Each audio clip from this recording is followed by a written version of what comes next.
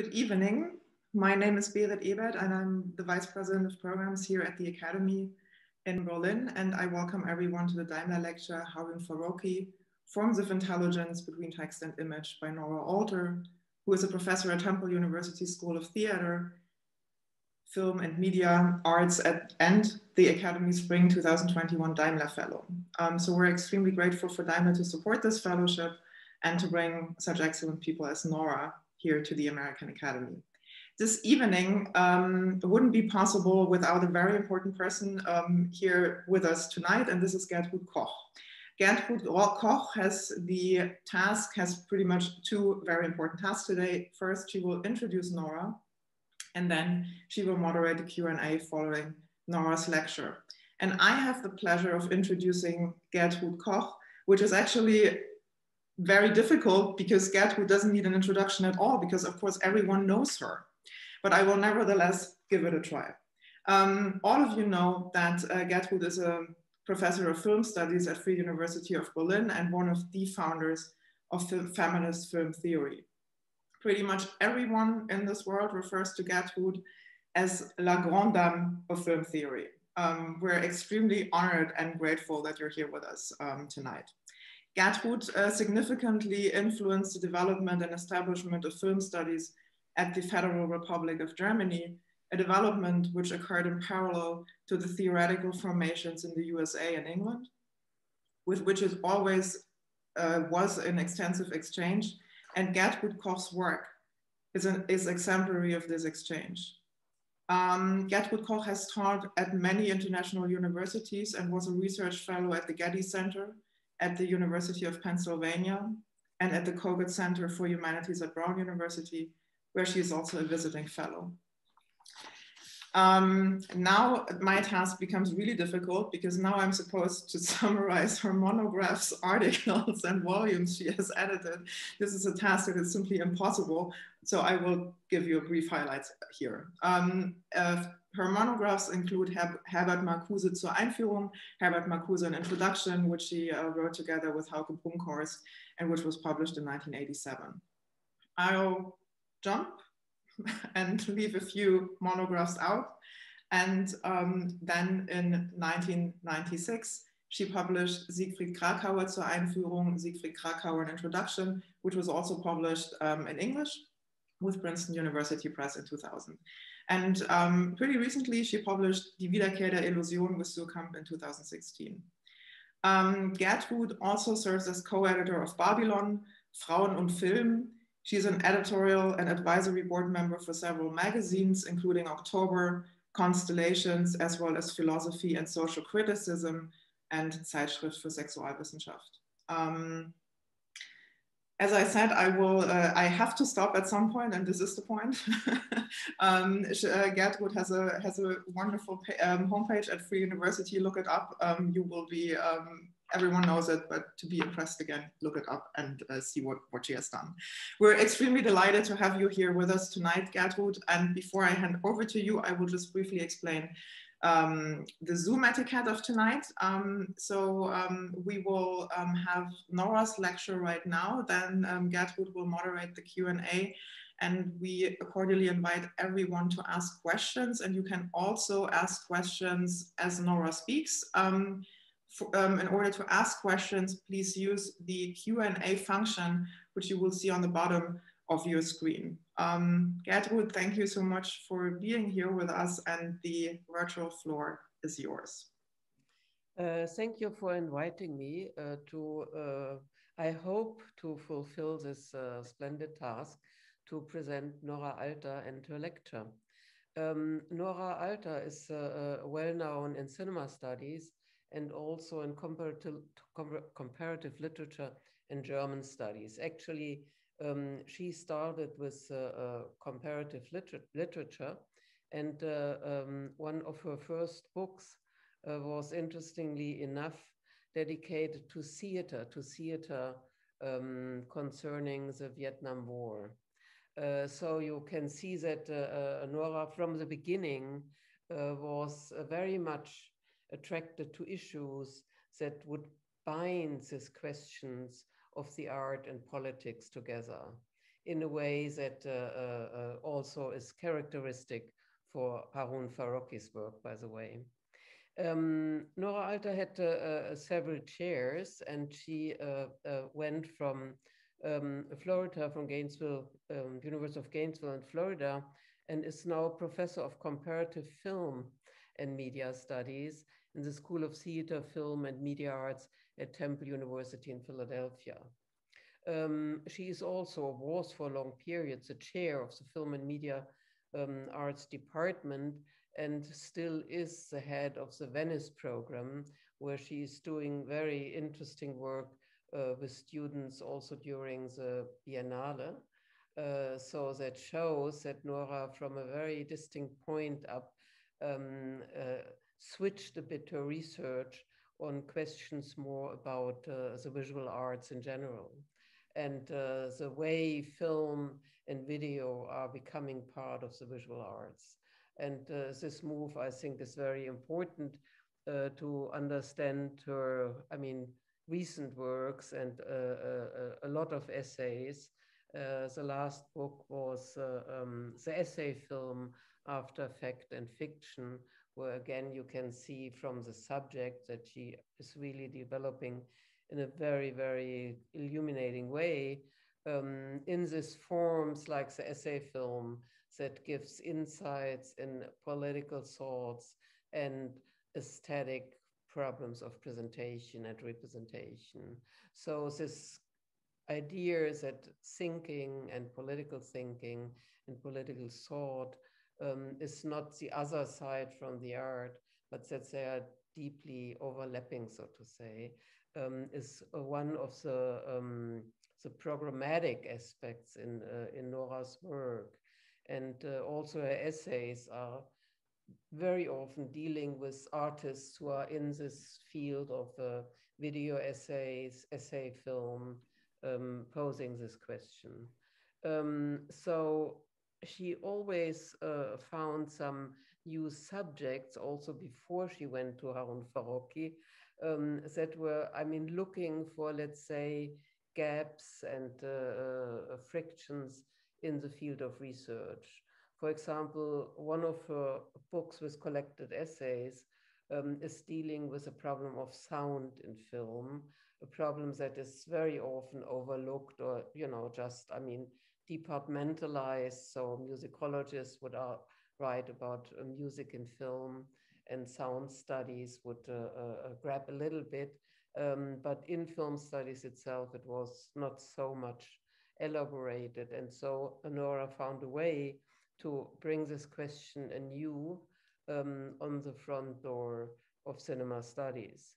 And um, in, from her time, where she was uh, uh, working also in German studies, she was also, I think, one of the leading figures in a famous group called Women in German Studies or something like this, I guess, um, where she was uh, doing very interesting work, especially on um, questions of feminism and uh, uh, uh, films made by women.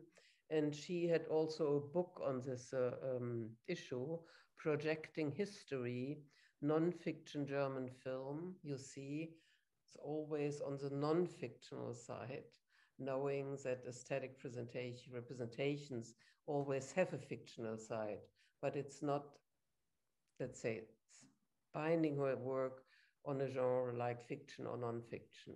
So the essay film, in many ways, uh, is already a medium of reflection. And I think what Nora will present this evening is a very similar approach um, in a filmic work or in the work of a filmmaker um, who has all his lifetime thought about these frictions between thinking and picturing and wording. And I think it's time now for Nora to um, give us a lecture so that we have something to discuss. Nora, please. Thank you, Berit, for introducing us. And thank you very much, Gertrude, for your extremely generous um, introduction. I'm sorry that I can't actually look at you and thank you in person. Um, good evening, everyone, and thanks for zooming in to my lecture. My computer indicates that you are many. However, this lecture room that normally holds about 75 is empty. The effect of this form of intellectual performance reminds me of a passage from Harun Farocki in which he was comparing differences inherent in the transmission of different media he had worked in film, television, art exhibition. He wrote, quote, the cinema business makes the premiere of a film an event in each city. The sense of an event increases when one takes part in a museum or gallery exhibition. When a work of mine is shown on television, it is as if I have thrown a message in a bottle into the sea, and in order to imagine the viewer, I have to invent him or her completely. Well, maybe I don't have to imagine all of you or invent you completely, since there are some names that I recognize. But like the man in the crowd, I miss your live presence, the subtle responses registered to my words and your expressions, gestures, and poses, furrowed brows, smiles, and eye contact. Before I begin, I want to thank the American Academy for supporting my project and providing me with this amazing opportunity to reside here and carry out my research despite the COVID restrictions.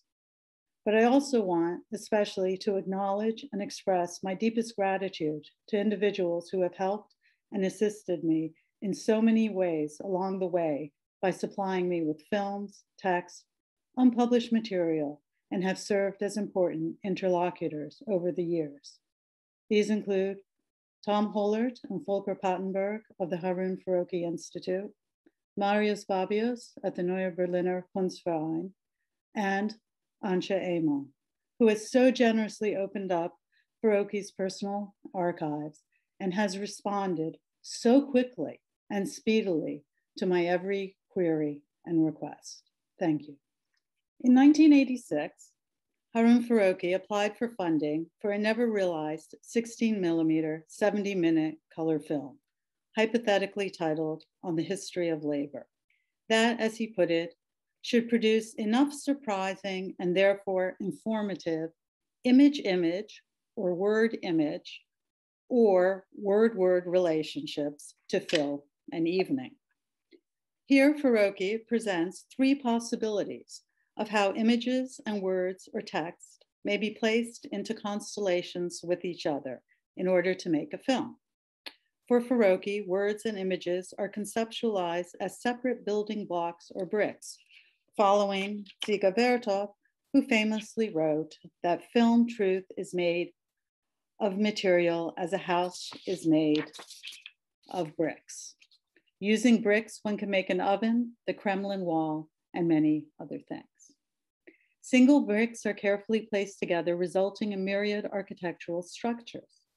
This process of brick building is the topic of Farocki's 2009 In Comparison, which surveys different sites of brick fabrication from around the world, from handmade artisanal practices to advanced computer assembly lines. The analogy to filmmaking and in comparison is clear as the medium has evolved from single shot celluloid productions to digital multi-screen compilations. But unlike the material bricks, which are normally comprised of a uniformity of material, the substance of Farocki's filmic bricks are both words and images. Words and images, both separately and in relationship to each other, con constitute phrases out of which an audiovisual text will be assembled. In what follows, I want to tease out some of the constructions of words and images in Farocki's oeuvre and suggest that many of the seeds of what will be of central concern in Farocki's later filmic works are already present in his early writings. In order to do so, I need to go back to the beginning. Before he was a filmmaker, Farocki wanted to be a writer. The importance of his development and conceptual of himself as an author cannot be underestimated. And from the outside, he distinguished himself from many of his contemporaries as someone who conjoined his film praxis with the text praxis. This included not only written essay counterparts to his films, but numerous reviews and articles on diverse topics, ranging from theories of pedagogy and cybernetics to literature and history, media, archaeology, film analysis, and cultural critique. In his cumulative output, his cumulative output numbers some 220 odd texts and essays and are now available to us through the tireless efforts of the Harun Farocki Institute in collaboration with the Neue Berliner Kunstverein. Starting in 1964, after he completed his high school equivalency or Abitur at night school in Berlin, Farocki contributed regular op-eds to the cultural section of the left-leaning Spandauer Volksblatt. His first essay, Seid ihr bereit, Are You Prepared, analyzes the former East German youth initiation ritual, Jugendweihe, and was published under the name Harun Farokhi. Other early pieces are penned by Harun Farokhi and Harun Farokhi. After a trip to Central and Latin America in the summer of 1967, he wrote four articles on revolutionary po- politics, including Revolution of Castro and Company and Guerrillas ohne Trost, a review of Serge Debray's Revolution in the Revolution, which appeared under the pseudonym Franz Putz. Farocki did not settle on the spelling of his name Farocki until 1969. From 1975 to 1985, Farocki served on the editorial board of Filmkritik, contributing almost to every issue. Indeed, it was this role that brought visibility to Farocki and attracted the attention of other film writers and critics outside of Germany. Thomas Elsaesser recalls that he first sought out Farocki in the 1970s because of his reputation as a writer and not as a filmmaker. Farocki's films were relatively unknown and practically inaccessible outside of Germany until his breakthrough work, Images of the World and the Inscription of War, of War from 1988. After Farocki resigned from the Board of Filmkritik, he continued as a freelance writer. From 1994 onwards, he was a regular contributor to the French journal Trafic, and in 1998, he co authored a book of critical essays speaking about Godard with Kaja Silverman. In the last decade of his career, his pace of writing only increased as he contributed pithy essays to catalogs, international journals, and edited volumes. Just prior to his death, he was working on an autobiography, 10, 20, 30, 40, 10, 20, 30, 40, a skillfully crafted text that accounts to significant events in Farocki's life. Divided into decades, it offers a portrait of the trials and tribulations of an independent filmmaker in a fast changing media environment and provides an exceptional glimpse into the practice of everyday life in the vibrant alternative cultural mecca of West Berlin. Farocki's early essays often began as reviews of contemporary literature that quickly morphed into broader commentaries and critiques of contemporary society. For example, in Selbstmord, Suicide of 1964, a review on a new edition of collected poems by Mayakovsky, he launches into a discussion about the marketing strategy of publishers who decide to issue a series in a rainbow of colors with the express idea that potential buyers will want to purchase all the volumes, regardless of their authors or subject matter, out of a desire to have a complete set. In this particular instance, Farocki selects number 62 by Suhrkamp, a red volume at Mayakovsky's edited works that includes the poem on Sergei Yesenin, who committed suicide. The poem foreshadows Mayakovsky's own suicide a few years later at the age of 36. Farocki intertwines his discussion of the young poet with biting observations on the contemporary commodification of culture and its clever packaging. He observes how the outer packaging of the Mayakovsky volume hides the damage done by the editors who have willy nilly pieced together samples and extracts from the author's oeuvre. Such extraction and sorting out, curating, is a violent act, and Farocki concludes when horses are chopped up, songbirds canned, and dogs beaten, help is close at hand. But who helps poor Mayakovsky, who has been beaten, chopped up, and spectralized, as in specter, a ghost. Self, uh, the brutality of the literary editorial process that Farocki describes already in 1964, prior to his becoming a filmmaker, will resonate with his later critique of the work of TV editors, editors Kutorin, in the 1970s. In one of his several lengthy tracks from the 70s on the hidden labor that takes place in television studios, he pronounces The work done at the editing station is one of covering up, smoothing over, and salvaging meaning, since there is no overarching understanding or possibility for independent expression or articulation. The work of an editor is reduced to that of a mere technical assistant who organizes and labels the material. Images that previously had no connections are brought together in false alliances and equivalencies. They, are, they serve merely to illustrate a preconceived commentary or text that does not emerge out of the sounds and images, but is rather imposed on them. Just as Suhrkamp provides an aesthetically appealing package for their writer's text, so too television delivers its generic programs in a superficial gloss that both manipulates and occludes truth. In addition to literary reviews, Farocki's early writings take up myriad topics like old cars, news media, coffee production, and exploitation in the third world.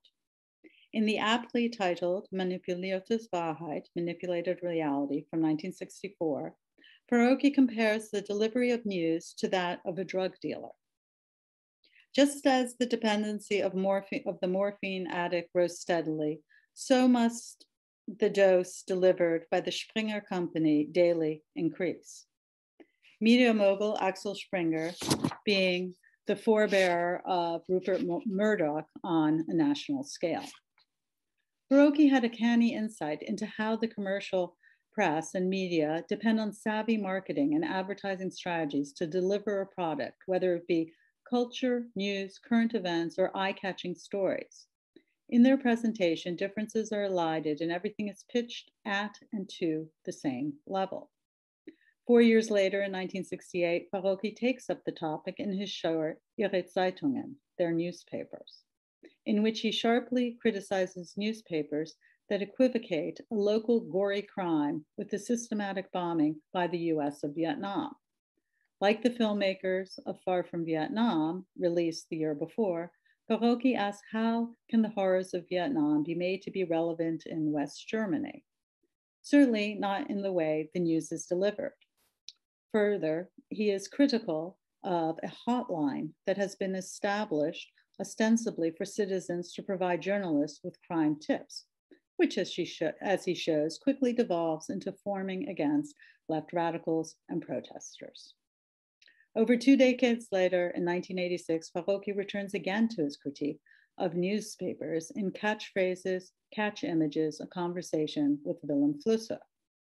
In this instance, Farocki and Flusser carefully analyze and decode the images and texts of the front page from November 26, 1985, of the sensationalist tabloid Bild, um, not coincidentally a Springer production. Flusser is introduced by Farocki as the author of two important texts, Towards a Philosophy of Photography from 1983 and Into the Universe of Technical Images from 1985. As he summarizes, for Vilém Flusser, photography as, is as equally profound an invention as print. With photography, the development of technical images began film and electronic images, computer graphics. Farocki and Flusser are then presented sitting at a small table in a cafe. Farocki pulls out, pulls out the Bild paper, and the two of them lean over it to examine it carefully.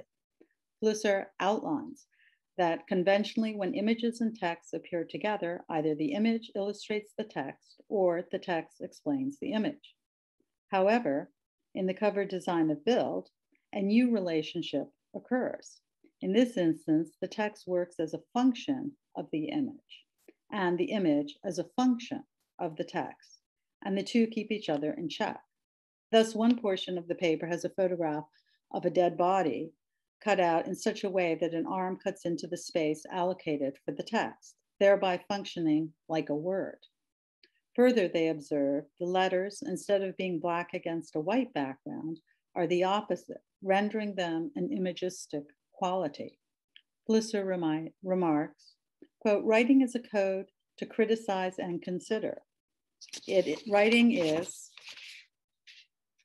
linearly developing a diachronic message which should synchronize our gaze. When we synchronize a diachrony, we criticize the event. Therefore, writing is a code of critical thinking. But here it has been reversed into the opposite. Writing is a mode into, is made into an image. They then move on to another story located towards the bottom of the page, that of a woman and child who have been murdered. As they know, you can't undergo semantic analysis until you look at the entire totality of the page. The idea of totality and the part echoes with Farocki's earlier pronouncement on how text and images are used in publishing and television alike. They are extracted, brutally cut out of their context and continuum. Farocki's interest in economic theory is present in his earliest writings. He came of age during the heights of the rebuilding of West Germany and its Wirtschaftswunder economic miracle, and was cleanly, keenly critical of the deleterious effects of the consumer culture and the logic of advertising. One of his early reviews, Glanz und Elend auf vier Rädern, der Schrott in unserer Landschaft, Shine and Misery on Four Wheels, Scrap Metal in Our Landscape, sardonically attacks the new Wegwerf disposable society in it, he describes the fate of a 1954 Buick, which only a decade old has already been abandoned. Previously, he writes, previously old cars were cannibalized. Their metal was melted down, and people did not throw their cars into the field every spring. There are about 200 vehicles which expire every day. Those cars who were made between 1950 and 55 are left to die because these were weak years. Once the generation of the 60s has died, there will be no one left to recycle the raw material. The disposable fate of cars becomes a metaphor for Farocki to engage in a critique of West German society, in which little is preserved from these initial post war years. Instead of fixing or repairing cars barely a decade old, or even melting them down for their metal, they are rusting in car cemeteries, cast off without value. He concludes a car cemetery is nothing but the final proof of a prosperous society. The waste of labor and goods, a byproduct of capitalist society, will be central to Farocki's filmmaking practice, in which he constantly recycles and self cannibalizes from previous work.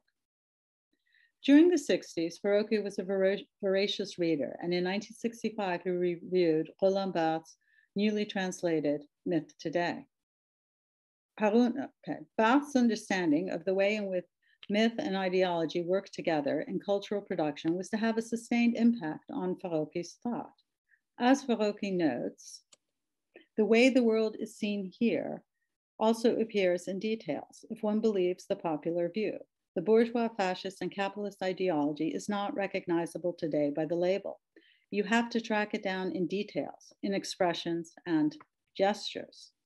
To recall, in this volume of collected essays, Barthes subjects a variety of topics and dissects them from French fries to Billy Graham to Garbo's face to a photo of a black cadet saluting the French flag on the cover of Paris Match to a rigorous semiotic analysis that explains the mystification that transforms petit bourgeois culture into universal nature. Farocki concludes his review with one can only hope that with this collection, Barthes will produce a model for ideology critique. And this model of ideology critique will differ from that offered by Benjamin, Brecht, Kracauer, and Adorno in its focus on contemporary myth that, quote, hides nothing. Its function is to distort and not make disappear.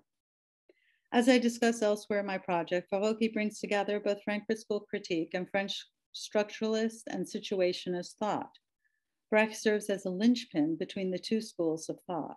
Myth or culture appears natural and eternal, and it is the astute critic to denaturalize them. Farocki, no doubt, recognizes Barthes's correspondence with his own observations when the latter critiqued the naturalness with which newspapers, art, and common sense constantly dress up reality, which is undoubtedly determined by history. Significantly, it is in mythologies that Barthes, in the final essay, Myth Today, introduces the distinction between operational language and meta language that will later influence Farocki's theorization of the operational image. Barthes writes, and I quote, here we must go back to the distinction between language object and meta-language. If I am a woodcutter and I am led to name the tree that I am felling, whatever the term of my sentence, I speak the tree. I do not speak about it. About it. This means that my language is operational, transitively linked to its object. But if I am not a woodcutter, I can no longer speak the tree. I can only speak about it, on it. Compared to the real language of the woodcutter, the language I create is a second order language, a meta language. Hmm. 40 years later, in 2005, when discussing his eye machine series, Farocki refers to operative images. He explains, I have called such images that are not made to entertain or to inform operative images. Images that are not simply meant to reproduce something, but instead are part of the operation. In his essay, War Always Finds a Way of 2005, with its citation to Brecht in the title, Farocki traces his use of the term operational to Barthes's discussion in Myth Today and quotes directly from the French semiotician's distinction between operational language and meta language cited above. Time does not permit me to go into Farocki's use of operational images. From those taken by bombs to surveillance cameras, and this has been well covered territory by recent Farocki critics. What I want to underscore here, rather, is that already in 1965, Farocki was thinking about how to translate Barthes's division of language into operational and meta into images. And it is surely not coincidental that half a century later, in his study on the genealogy of computer imagery in Parallel 1, he like Barthes, in myth today begins with a tree. A tree is a tree, tracing its development historically from nonfiction to becoming an active part of the games. Farocki's first film review, Hoffman Ja, Antonioni 9, Hoffman Yes, Antonioni No, was published in the germ- journal Filmkritik, Critique the most important critical publication in West German cinema in the 1960s. Once he became a student, he wrote more systematically on films and media theory, publishing reviews in film. As one tracks his writings during the first decade, certain themes and interests crystallize that will surface in the films, such as theories of media, images, advertising, Marxism, labor, architecture, and pedagogy. Farocki was reading a wide range of material, processing and integrating it into his writerly and filmic practices.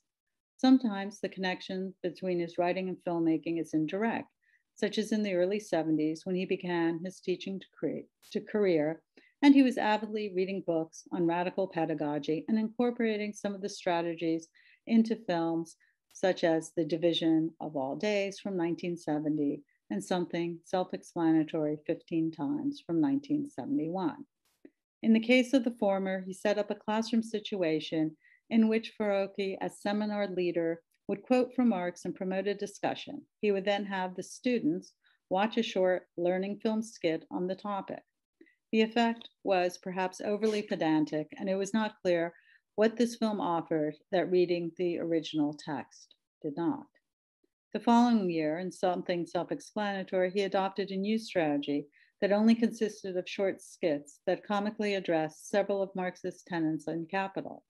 In the case of both these films, Farocki's thoughts about the relationship between politics, pedagogy, and filmmaking is addressed in essays such as Die Agitation Wissenschaftlichen und die Wissenschaft Politisierung from 1969, or Die Russ und die Egg from 1969 also, or Capital in the Classroom from 1971. These correspondences between Farocki's theoretical essays and his films is oblique, and each are discrete units. In contrast, for beginning in 1968, Farocki uses his writing more directly to connect with his films. Thus, he first published the essay Vacuum Cleaner or Machine Gun a year before and in and anticipation of the release of his first feature, Inextinguishable Fire, in 1969. This calculated promotional strategy continued, whereby each of his major films, he wrote essays detailing his historic research, publishing the scenarios, and even once staging a mock interview about the film with an imaginary interviewer, Rosa Mercedes. For example, for his film Between Two Wars of 1978, he published no less than six separate essays on the film, including Das große Verbindungsrohr, Zwischen zwei Kriegen, Filmentwurf, Zwischen zwei Kriegen, Anzeige, über Zwischen zwei Kriegen und Notizen zur Aufregung Redel, Franz Jung und anderen, and Notiz zu Zwischen zwei Kriegen. These writings are, for the most part, repetitive with slight variations. However, what they reveal as a whole is the extent to which Farocki became obsessed with the topic and was intent on showing how his work, his work process as a filmmaker was akin to that of a researcher or historian who delves deep into the archives, mining them for as many resources as possible. What is revealed through his writings is the amount of labor invested in an 85 minute film. It is worth noting that Farocki stresses in the credits that Between Two Wars was made over the years between 1971 and 1977. So six years for 85 minutes. In order to understand and render the full complexity of the historical conditions, Farocki sought to extract meaning from as many sources as possible circumventing the possibility that his film would be rendered as meaningless as a photograph of a Krupp's factory that reveals nothing about the socio-economic operations that take place behind its walls. Instead, what Farocki makes visible in both the film Between Two Wars and his essays are those operations and relations occluded by master narratives and their images. And he achieves this with both his writing and his moving images. Farocki's writings must be understood then as one part of his audiovisual production. The recto to the verso, or following Walter Benjamin, they function as extended captions to the film. Farocki thus produces a diptych consisting of text and moving images that coexist separately but may be brought together to form Farocki's own Verbundsystem, or integrated working system, where nothing is left to waste. As is indicated in his writings through the 70s, Farocki is still quite dependent on written or spoken language as a medium through which to express critical thought. However, increasingly, he seeks to find a way to rely on images to produce some meaning. In order to explore this possibility, he studies photography. In his 1979 film Industry and Photography, he states that images speak for themselves and with unstaged amateur photographs, images that are poorer have more to say. Two years later, his film, View of the City from 1981, he examines a book of photographs of Berlin architecture in which the photos are exhibited without captions. They are carefully juxtaposed one against the other, carefully montaged together like frames of a film, However, instead of the linear succession dictated by film, they coexist on the same spatial plane. Farocki then asks the question how do images argue? Just over 30 years later, in one of his final interviews, Farocki states In all modesty, I've tried to find means in which not only additional words shape the idea of cinematography's discourse, but somehow the shape, the montage, the form of film constitutes to it. It can sound a little bit poetic to say having images that think and having films that think. But it's in this, but it's in this sense is one of my ambitions to find some autonomy in the cinematographic form, in which you don't just repeat things which already exist on paper and try to translate them into film form, but you try to give some autonomy to the cinematic medium. Images, and by extension, films that think, relate philosophically to German aesthetic theory, going back to Hegel, Herder, Schelling, and others, that was later taken up most famously by Benjamin and Adorno, and their concept of the Denkbild or thought image. The thought image is a short hybrid text that combines literature, philosophy, journalism, and art. A Denkbild creates an image built out of words in ways which it says, which cannot be said in other ways. If the thought image produces images out of words, then as he matures, Farocki takes this concept one step further through a careful reversal and creates words and thoughts out of the image. No longer just words and words or images and words, but images and images. Thank you. Uh, that uh, gave us a lot of uh, new materials that may not really well known uh, because they are basically sitting in the archive. And uh, so for me, it was very interesting that you really draw a big line from the 70s and late 60s uh, to um, the late uh, Farocki. And uh, in uh, some regard, you describe it as a kind of Bildungsroman. You know, how Farocki himself um, adjusted his own poet poetics um, in this uh, uh, um, discussions about the role of language. And it reminded me on another Barthes text that was very much at stake at this time. Uh, this was the famous uh, lecture uh, Roland Barthes gave, uh, at, gave at the Collège de France in 77 um, on, it's called Lection. Um, and there he says uh, the performance of language, what means the practice of language, um, is in itself fascistic, fascist. Uh, because, and this is his argument, um, it either uh, makes identify, identifying assertions um, and it's based on repetition. And uh, so in his further development of the argument, he says what the only thing that can, I mean, break out of this uh, uh, uh, uh fascist uh, condition of language um, is for him writing, what he calls literature.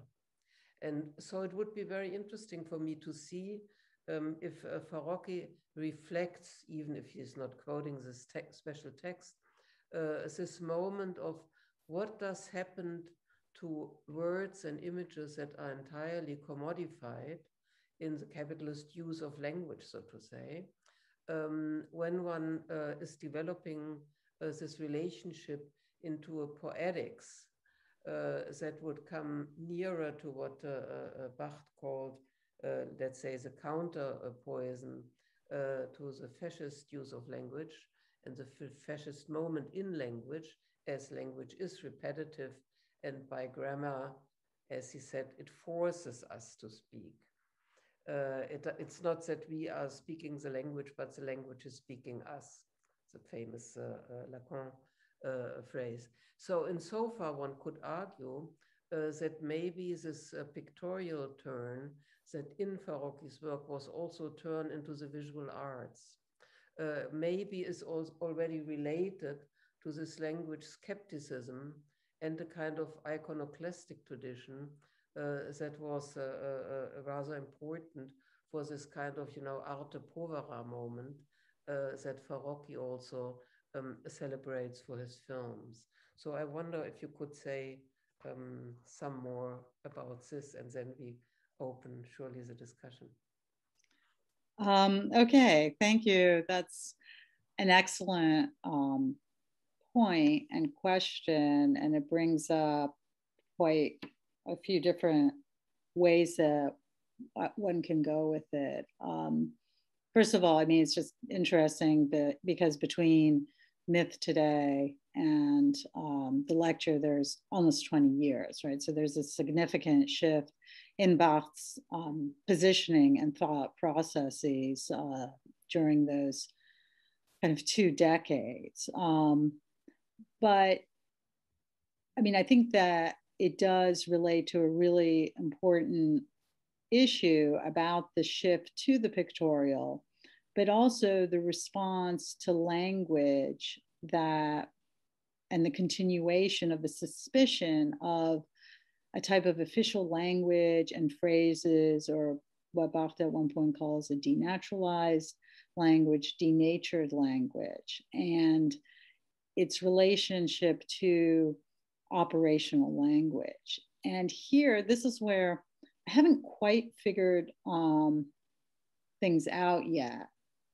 So this is sort of kind of a work in progress, but one the other source for Farocki on images and operational language is Tretiakov. He goes back to Tretiakov, who talks precisely about these sort of stock phrases, almost cliches, political speeches that one finds um, in Soviet newspapers in the 20s and 30s. So it's specifically in journalism, hence its interest for Farocki. And he says that, you know, with one phrase, everybody knows what it means. With two words, it builds into a much larger whole, it transports with it. So to that, and that's what Tretyakov refers to as a kind of operational language. And somebody like Devin Fore has written um, about this, I think, in October. And I think that Farocki is really interested in that because he sees this sort of importing of language or the taking of the cliche as very similar.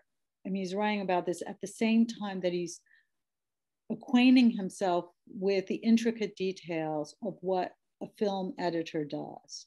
Mm-hmm. And if for TV, um, and how when the film editor is sitting there and it happens usually to be a she, she has to find images. It's almost like directly plucking them out of like, oh, the example he uses is um, free time. So free time becomes that image of mm-hmm. people in a Ferris wheel, or leisure time on a Sunday is illustrated by somebody holding a plate of kuchen or something, serving a plate of kuchen. So he says, you know, there become these like images that they use as a data bank of images, as an archive of images. So it'd be like I would just reach behind me, grab one of these books and say, oh, okay, this is going to be wind or this is tree.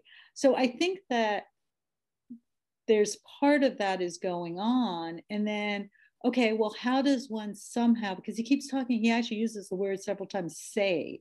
Mm-hmm. How does one save these images or save this language? Is it possible to actually have them speak?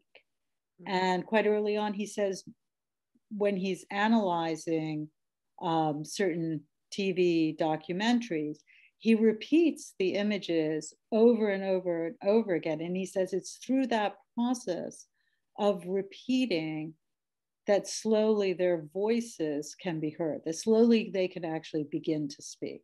Mm-hmm. I don't know if that really answers the question. Yeah, I mean, I think it's very interesting because it has a different idea of what repetition is. Mm-hmm. Repetition for Farocki means that, uh, um, you know, through repetition, uh, things change, so to say, their expression. So they become uh, more visible or more audible. And uh, so in, in Barthes' famous saying, uh, repetition is much more kind of mechanic repetition uh, that stems, so to say, a meaning to all the speakers who repeat the word. Mm-hmm. So it's very interesting that, and I think it comes back to this uh, quote you put on the beginning with the bricks, because the bricks also are, I mean, kind of uniformed um, units, but the way you perform with them makes it into something new.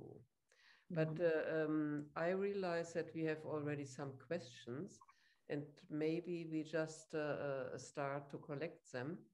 Um, Nora, if you are ready, I just would read sure um, the um, first question. It's from Adam Lowenstein, and he has a following question: Who are the other filmmakers you would group with Farocki in terms of a similarly profound impact related to the Vietnam War on their thinking and practice? Perhaps fiction filmmakers as well as documentary filmmakers. Thank you for a fascinating presentation. So would you um, answer this directly? Um, sure. So, I mean, I did cite from the omnibus production Far From Vietnam, which involved Godard, Resnais, Marker, Agnes Varda, Joris Ivens, um, Claude Lelouch, and I think William Klein. I can't remember all the names. Mm. Um, from that time period. Um, so I would say that Farocki was definitely influenced by that group of filmmakers. Um, and then there were documentary filmmakers such as um, D'Antonio, who did Vietnam, Year of the Pig. Um, what else was there? Just trying to think out loud. Uh, these are not on the tip of my mm-hmm, mm-hmm. my tongue right now, but um, I could certainly there's certainly many more of them as well. Mm-hmm. Yes, I mean, that's uh, definitely, I think, one of the main, uh, um, you know, so counter figures was uh, in the whole assemblage of directors was quite Jules Godard. And uh, so this constant uh, idea of rewriting images and so, um, and also Alexander Kluge for the German part, I think, mm-hmm. would be influential at least. Um, there is another question Volker Pantenburg uh, poses, and this is about, I read it, as you started with on the history of labor and also evoked the question of the operational and the two films on Marxism and labor, I would be interested to know how labor relates to those questions. I wonder if writing and filming could be thought of as different forms of labor this also concerns the question where the Marxism of the early phase goes, speaking of Tretyakov. Okay, thank you, Volker, for that question, um, which you probably know this more that better than I do. But I would say that certainly um, what I mean for Farocki, it's been very important to always underscore work and labor and how it is always occluded, whether it is the work of the writer, the work of the craftsman, or the work of the filmmaker. And I'm even thinking here of a film um, such as his film about um, Glaser, who was both the writer and the um, metalsmith maker. And he has Glaser you see him shaping, it's almost a process film, shaping a metal bowl. I mean, we watch him how he pounds it rhythmically, but then he also discusses his novels and the amount of time it takes him to think about each individual word. So it's like a craftsmanship that is enacted, both a words craftsman, and we have that expression in English. I don't know if it exists in German, but also a craftsman who wields, who's, who's outside of industrial production. Mm. Um, so I think that labor is also very important in many of his films, such as an, an image um, or a single is being produced. Um, the relationship between the time it takes to produce something and then the final product, that disparity, right? So, what might end up as being four photographs in an image, but it's days and days and hours and hours of painstaking shooting. It's work. There's nothing glamorous or romantic about it. or in a single is being produced, much like Godard's one plus one, it's again, how much time is it going to take to make one three minute song? You know, what is the labor behind that? And um, he's very interested in process. And in the two films, I assume that you were referring to something self explanatory and um, the division of all days.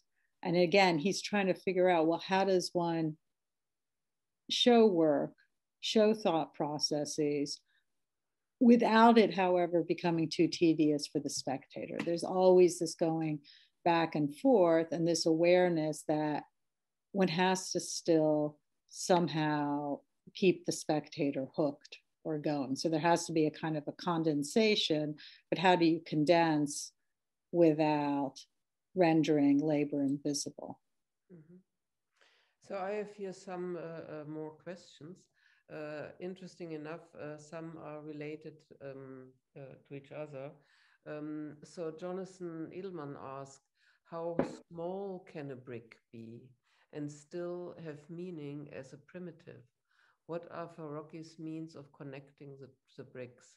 So this goes maybe to what you, your last point, Nora, um, about this kind of, you know, how are this building up, these films building up and what kind of montage um, is involved there. And um, I just give you the other question so that you can maybe decide what you um, answer first. There's one question that by Arta Berzani, um, also asking for other comparison with filmmakers, especially with Straub how he was influenced by them and the significance of his documentary about the making of their class relations. Class relations is his famous film on the Kafka novel. Um, and Frank Trommler asked exactly about um, the audience, especially what what is about the, can you say more about the audience Farocki is addressing himself? Did he consciously addresses different audiences with different techniques? So it's bringing together the question of operational form, so to say, with the address of a public. Okay, well, there are a lot of um, questions here. Um, so just let me, since it's following up from the earlier um, topic, just a brief mention about Straub and Huillet. Um, Farocki was very influenced by Straub and Huillet. Um, they were very important filmmakers for him. He actually was an actor in *Class and Klassenverhältnis. He played the figure of de la Marche. And in his film about their rehearsal process, I mean, this gets back Gertrude, to your initial evocation of Barthes, I mean, he shows through rehearsal and repetition and very careful repetition, but a repetition always with a slight variation that words start to take on different meanings. Um, but also, what that film shows is again, it's the process of work of being an actor, the work of being a filmmaker, repeating the same lines, over and over and over again until one gets it just right right? And it's very subtle. It's the delivery. It's the subtle shifts and cadences. So yes um, very influenced by um, Straub Huillet. Um, and, you know, Frank, you raised a really important question. Who were the audiences for this? And I guess um, you know, recently in a discussion with Antje, where we were um, talking about the transmission, she found some archives and some folders about the transmission of his telecritique from 1973. And the fact that this was broadcast at 8 p.m. on Westdeutscher Rundfunk, right? So major broadcast that actually hit a lot of people. It was a huge audience. Um, you know, with television, just like with this Zoom lecture, you never quite know who your audience is, who's turning on, who's going to turn off and switch the channel. Um, and that's also, you know, in theaters, usually people don't walk out of theaters. There's a little bit of a commitment, and you're aware of how many people come to theaters. But in the last iteration of his exhibition form, namely in art exhibitions, it's very different again, right? How are you going to have somebody who's walking through a gallery stop and stay? How long are they going to stop and watch? Will they sit through 20 minutes? Maybe. Will they sit through a full 40 minutes? It's even rarer, right? So you never know how long the audience is going to stay and what is the um, rate then of accessibility afterwards. And something that I should mention is that the Goethe Institute has done a wonderful job of digitizing and making so many of these works accessible to everybody in the past five years. I mean, it's really changed the game of who can um, access these films. So that's really important. Mm-hmm. Um, yeah. Nora, there's a question by Johannes Riedner um, who relates it to the question of uh, Farocki as operator. And also, I mean, what kind are there, as he says, sensations, little perceptions, sinnlicher Reiz, Anschauungszauber. So as operator, does he bring the four um, this kind of aspect, cinematic aspects? So as operator, can you explain a little, can you explain that term a little bit more, how it's being used as an operator? Um, I'm not. No, it's just uh, uh, as such, Farocki as operator. Okay. understand reality in all its aspects through science. And I guess. Uh, uh so maybe as a decoder? Operator. I, I thought it means camera operator. Oh, as a camera operator. Um, well, I mean, he was not always the camera operator. Um, he usually had other people who were operating the camera. I think that, um, so for example, um, already even in Ihre Zeitungen, Skip Norman was a, was a cinematographer. Then later he worked quite a bit with Ingo Kratisch. I would say that as operator, he would, for him, I would use less the word operator than editor. Mm-hmm. So I think he takes over the editing process, and that for him becomes the key role of how to put together the words and the images, and in particular the images, how to make the arrangements. Um, and you know, most of us know about the film interface, where he really explains the difference that he has to learn, how he has to learn the whole new skill of going from analog to digital editing and working within those two systems and what are the implications of that shift mm-hmm. Yeah i mean uh, uh, there's another question. Wait a second i just have to catch up here. Um, yes so there's another question by wendy grantham and uh, she asked i mean um, what do you think uh, Farocki would have done with all this kind of new instantaneous images like you know selfies food and so on and so on um, and both words and images have been so heavily commodified and enslaved in service of each of tech and brevity how might images and words be reclaimed given that we seem to have removed process complete removed process completely? I mean it's a question about you know it's always a kind of futuristic question because uh, we don't know what uh, Farocki would have made with this kind of images. Right. Um, so that's an excellent question, and it is one of hypotheses. Um, but given his last work, um, the Parallel series, where he was very interested in video games, and if anything, any form is serving tech industries, war industries, um, it's the video game genre. So, therefore, following along that line and his interest and attempts to sort of decode and to show just how ideologically um, filled those images are, I think he probably would have been interested in the phenomenon now with memes, with GIFs, uh, and with all other sorts of images that have come to almost make arguments and to speak. Um, the fact that Instagram is just images um, primarily. So it would have been of interest. I don't know what his conclusions are. And it's always difficult to say, well, is it possible to free images? And I mean, one of the um, important things to underscore here is that certainly in the beginning, I mean, Farocki was not a postmodernism, postmodernist. I mean, he did believe in something called truth and something called reality.